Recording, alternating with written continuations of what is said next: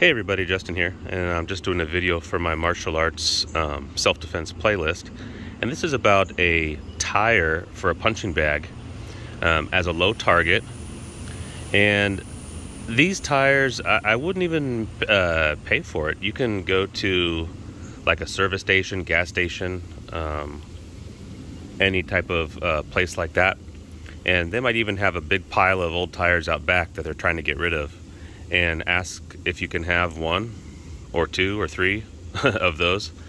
And that's what I did. And the service station near me was uh, more than happy just to give two of them to me. And you know they're they're pretty dirty because they've been sitting there for a while. But yeah, you just clean them up, just hose them down, and they're they're good to go.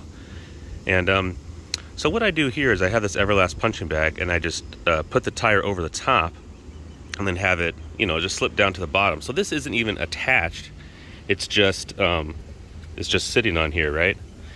And um, you know, it's a good target. It's extremely durable. Um, this probably lasts a lifetime. It probably outlasts the punching bag, to be quite honest.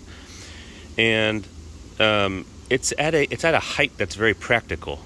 You know, for for training purposes, we try to kick as high as we can a lot of the time, but in real self-defense situations, you're probably going to strike to the groin, strike to the knees, strike to the shin.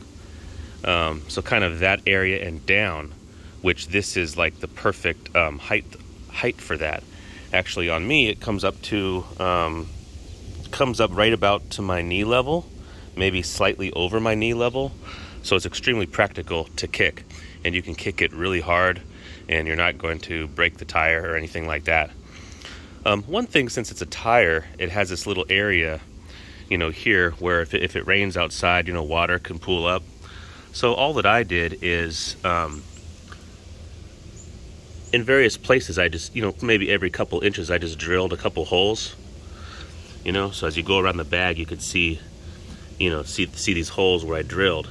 And I did that on the other side too. If, if I were to put the tire on the other side, here you can see one hole. Um, and here, here's another one uh, right here. So if I were to put the tire on the um, the the other way on the bag, then if it rained, water would still um, drip out. So it doesn't pool up um, for mosquitoes and stuff like that.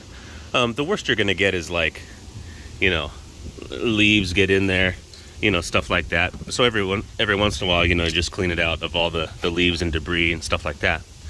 But anyway, this is what I recommend um, for if you have a punching bag like this or just some other um, arrangement where you can set up tires and they're extremely durable.